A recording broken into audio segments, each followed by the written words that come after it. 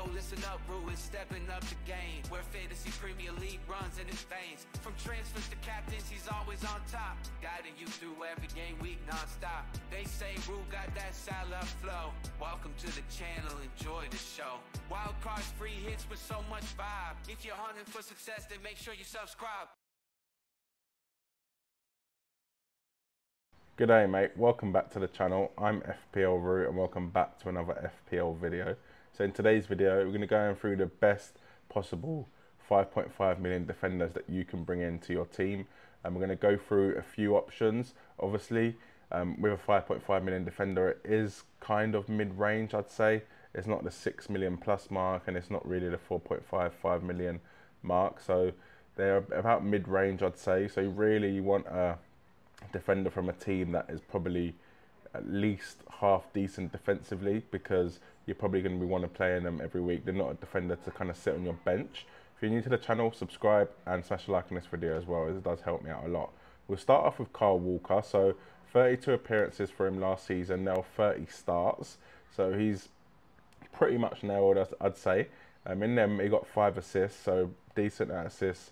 And Man City were actually very, very good um, for kind of defensively. They finished second behind Arsenal as the best defence in terms of goals conceded. They conceded 34 goals. Um, and then expected goals was around the same, 34, and they kept the second most clean sheets with 13. So defensively, they are really, really up there. Kyle Walker, though, five assists is not a bad return, to be honest, especially I think the way City play at the minute are kind of with four centre backs. So you've got Ake on the left, the two centre backs, and then Kyle Walker can tuck in as well. So he's not really a, a wing back to say. So five assists is still pretty good. 16 shots, three on target. Um, like I said, City conceded 34. Kyle Walker missed a few games, so he only conceded 29, um, and he got 10 clean sheets. So they kept two clean sheets while he was away. Um, the thing for me with Kyle Walker is you really want to look at his assists and five assists is pretty good. And with the City's fixtures to start, probably about the 10, about the 10 first games, they do look very, very nice for City. So obviously you've got Chelsea away, um, you've got Arsenal and you've got Newcastle in there as well. But other than that, you've got Ipswich at home, West Ham away, Brentford at home, Fulham at home, Wolves away, Southampton at home, Bournemouth away. So very, very good um, teams to get a clean sheet in. And for me, when you're bringing in a Man City defender, they're going to be a player that you're going to want to play every week. So I can definitely see teams that are going to have Kyle Walker in there, just leave him in there, play him every single week, and you know you're going to get at least, I guess, the top two most clean sheets in the whole in the whole league at the end of the season. And I think Kyle Walker is attacking enough to, to warrant that 5.5 million price mark. Obviously, though, there is a bit of an issue with City. You never really know if a player's nailed, but to be honest, Kyle Walker's been a player that has been nailed over the past few years, and I think he will be nailed going into the next season as well.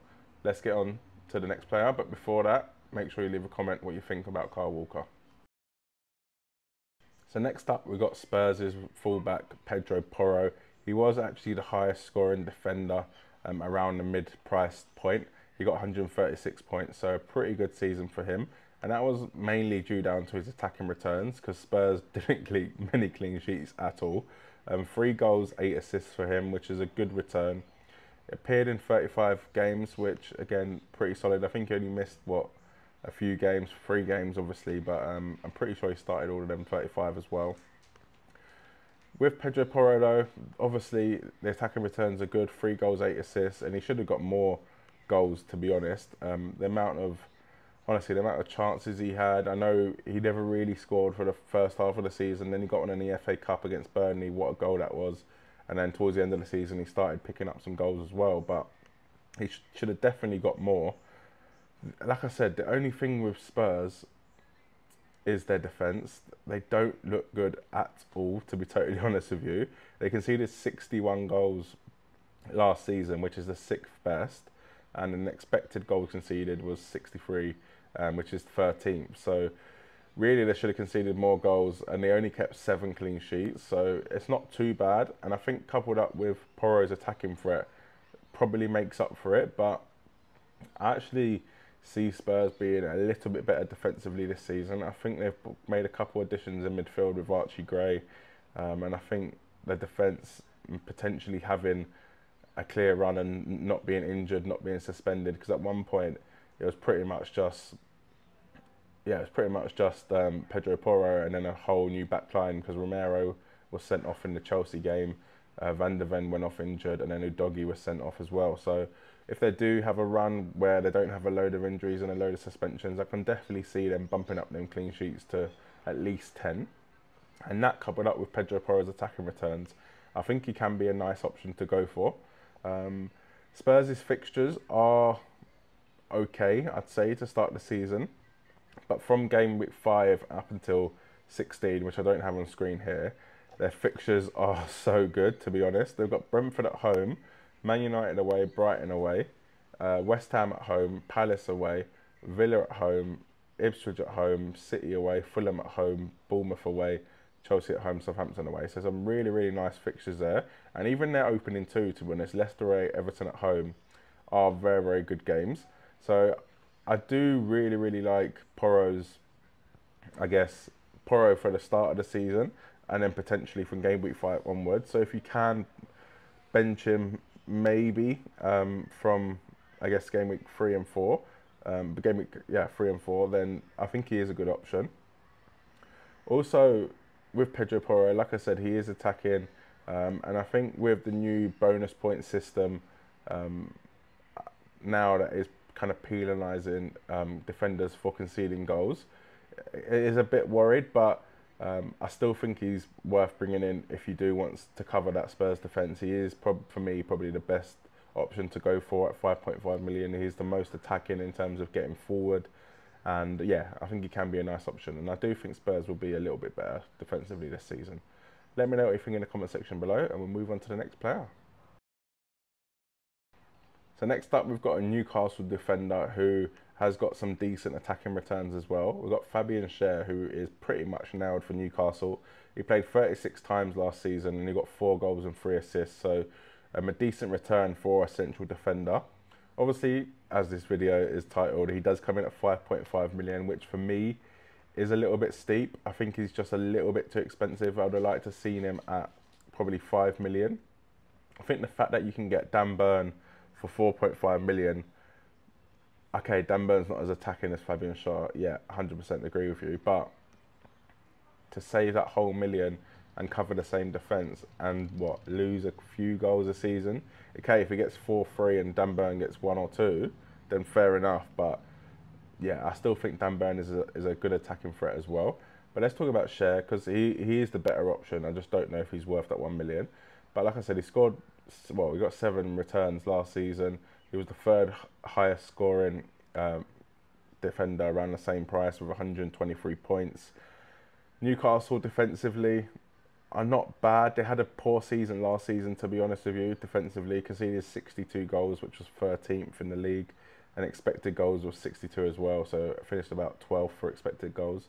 Um, however, in the season before that, they were kind of the, jo- the joint best. They only conceded 33 goals um, with 41 um, expected. So they did have an off season, I'd say, and that was down to a lot of injuries again for Newcastle. Um, they had some yeah rough rough injuries, and it obviously had a whole player on the whole team, and obviously they're in the Champions League as well, which does pay, pay its toll on, on the team. I think they will have a better season defensively this season. I'm just not sure Fabian Schär is worth the money. However, to start the season, he could be worth the money because their fixtures do look very nice. Southampton at home, Bournemouth away, Spurs at home, Wolves away, Fulham away. So a good start going to Southampton and Bournemouth, and then you got outside of Spurs, you got Wolves away, Fulham at home. So pretty decent, I'd say. For me, I'd save the money personally, but if you did want to bring in someone like Fabian Schär, you don't actually have to play him every game. They do rotate well with Aston Villa defenders. So that is something to take into mind. If you have got the budget to rotate defenders, you can do that with um, Newcastle and Aston Villa.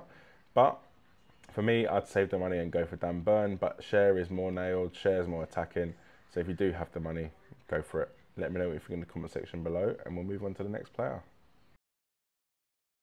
So next up, we've got a player that probably none of us owned last season. It is Jurrien Timber. So the Arsenal, I guess, fullback, centre back, midfielder. We're not sure where he's going to play yet because he's only played twice for Arsenal um, in in the Premier League. So obviously, it's a bit pointless having these stats on screen here, but I just really wanted to highlight him because if he does play, he can be very very attacking if he plays on that. I don't think he'll probably play right back because Ben White's got it covered, but potentially left back and centre back. He he could be very very attacking. I just wanted to point him out as well because Arsenal played against Bournemouth in a friendly game, a pre-season game, and he did play centre back. So could that be a thing of, of signs to come? Who knows? But Arsenal's fixtures are not the best anyway to start the season. Wolves at home, Villa away, Bournemouth, at, Brighton at home, um, Spurs away, City away. So that's really really tough going to Spurs, City, and Villa in the first five games away from home. Pretty tough if you ask me. Obviously they have some very, very nice options uh, for their backline Arsenal, especially with Calafiori coming in as well.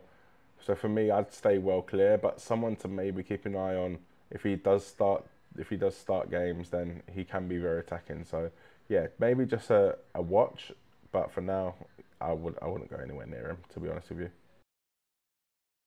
So I did want to mention Kyle Walker's teammate Nathan Ake because He's actually been very attacking as well. Two goals, three assists last season.